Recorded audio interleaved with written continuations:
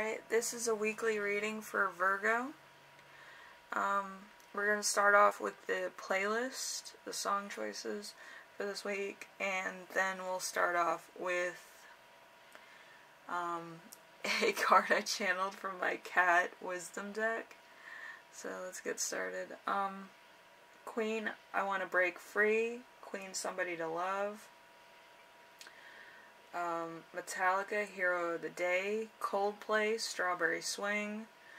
Um, Leona Lewis, Run.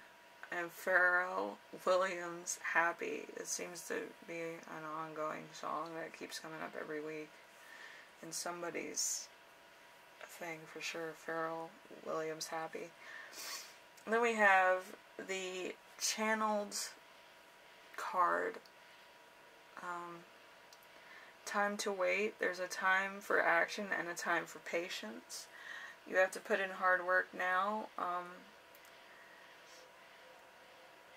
you put in hard work. Now there's nothing left to do but wait.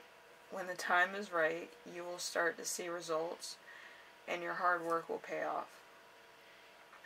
Fun stuff. So that could be for, you know, anything that's going on in your life, pretty much. Um, and then we have you right now, um, which is the Knight of Wands. Uh, action being taken, um, things getting done, a change of home, something tangible, um, getting the job done, a go-getter. So it's a very Cancerian or Leo energy that you have this week. Um, so very water and fire um, thing. So really, literally steam. And then we have the week's theme, which is the Three of Wands. The Three of Wands is a good opportunity to change, um, well, a chance to travel, an opportunity to trade internationally, um, working in a team, help from others, and this is going to be in your sun sign, probably Virgo. Um, well, it's your first house, so whatever your first house is.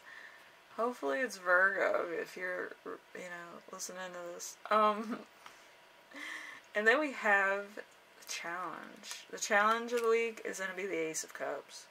The Ace of Cups is happiness, abundance, new relationship, joy, good news, fulfillment. Very water, autumn. So, like, around your birthday, I guess.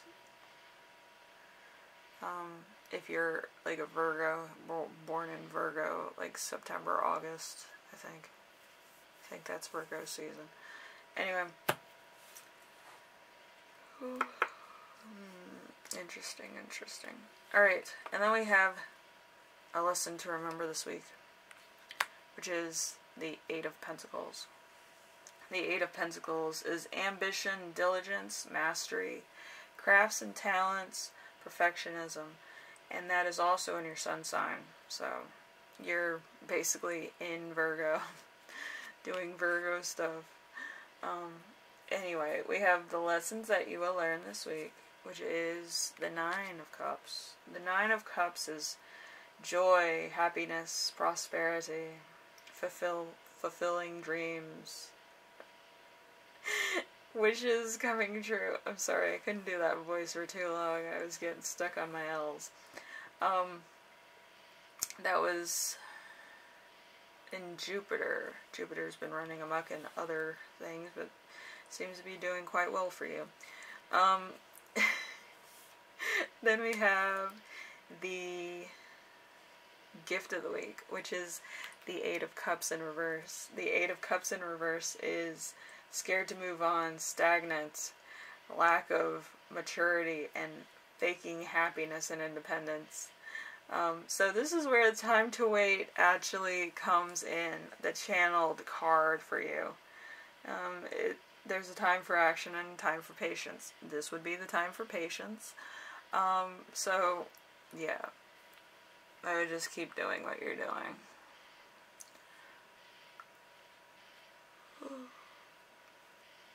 Hmm, sorry. The world has its way of creating opportunities. The universe has a way of dabbling in the unknown. So, hey, if you're into Santeria or giving to the universe and some spectacular shows of affection, with me, I just leave my leftover stuff outside for animals or whatever the case. Like those grapes I didn't want to eat. Mm, green grapes, terrible. Anyway, but yeah, you know, the universe has ways of working out. You give a little back, you get some in return. It's an equal give and take with the universe, but with other people, a lot of times it doesn't. And you can also ask the universe for things, especially at night. That's kind of why it's out there wide and awake. So ask the universe for what you want, but be very specific. Um, it should happen, or it should arrange itself in ways that allow you to justify your actions in order to get that. It's really hard to explain. Um, but yeah, you know what I mean if like you're wanting that. Anyway, Virgo, if you like this reading, leave a like. If you like what I'm doing on here, subscribe. And if you have any questions, comments, concerns, ideas for my next video, leave it in the comment section below and I will read those. Um, thank you for watching, Virgo. I hope this was insightful. Whatever you're waiting on, I hope it comes soon.